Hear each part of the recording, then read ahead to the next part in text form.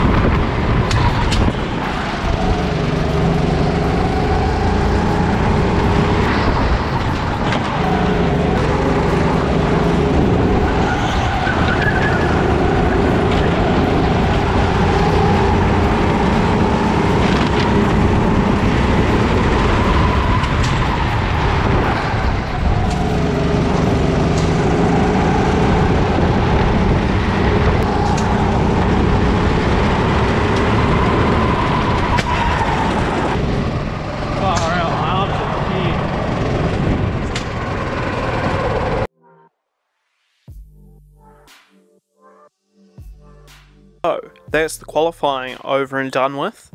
Uh, there was some absolutely awesome wheel-to-wheel racing and it was uh, good to get a little bit of racecraft going and uh, sort of see where people were a little bit slower than you, but then also where they were picking up and trying to pick your spot on when to overtake and things like that.